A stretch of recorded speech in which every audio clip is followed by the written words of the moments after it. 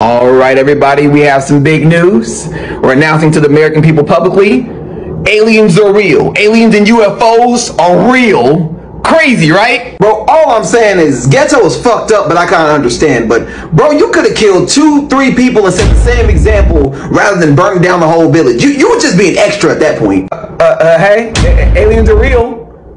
Hey, fam, let me call you right back. So, before I give my honest reaction, I just have a few questions I need to ask you. Is that cool? Yeah, that's cool. So, um, number one, are they Kryptonians? No, Are they Viltrumites? no, Are they Saiyans? no.